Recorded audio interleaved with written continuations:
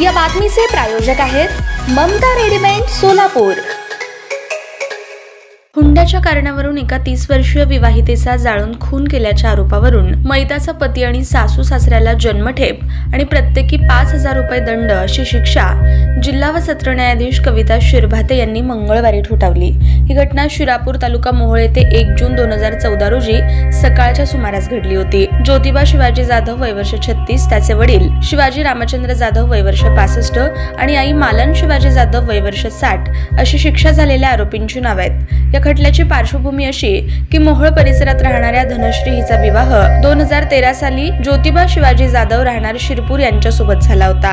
काही दिवस नीट लांदवल्यानंतर तिला हुंडा आणि प्रापंचिक कारणावरून सासरी छळ सुरू झाला. या संदर्भात तिच्या माहेरकडे लोकांनी पोलीस पाटलाकडे तक्रार नोंदवली होती. त्यानंतर नीट नांदवतो असं सांगितल्यामुळे धनश्री पुन्हा नांदायला गेली. मात्र पुन्हा शारीरिक मानसिक त्रास सुरू झाला. दिनांक एक जून दोन हजार चौदा रोजी सकाळच्या सुमारास धनश्री जाधव ही घरात काम करत होती. त्यावेळी तिघांनी मिळून तिला मारहाण केली.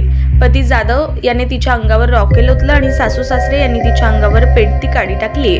आगीच्या विळख्यात असताना तिने बचावासाठी आरडाओरडा केला तेव्हा शेजारच्या लोकांनी आग शमवून याची माहिती विवाहितेच्या वडिलांना कळवली. वडील घटनास्थळी दाखल झाले त्यावेळी भाजलेली धनश्री एका चादरीत गुंडाळलेल्या अवस्थेत आढळली. तिला त्वरित सोलापुरातील शासकीय रुग्णालयात दाखल करण्यात आलं. दरम्यान चौदा जून दोन हजार चौदा रोजी तिचा मृत्यू झाला.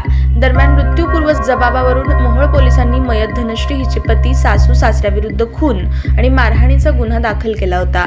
तत्कालीन सहाय्यक पोलीस निरीक्षक धनंजय धावणे आणि महिला फौजदार प्रीती जाधव यांनी प्रकरणाचा तपास करून आरोपपत्र सादर केलं.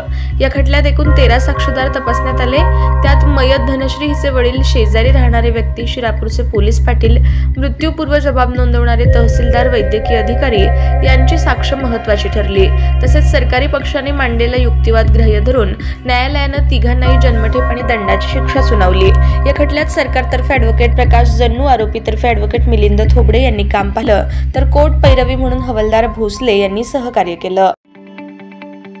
ताज्या बातम्या पाहण्यासाठी प्राईम महाराष्ट्र न्यूज चॅनलला सबस्क्राईब करा.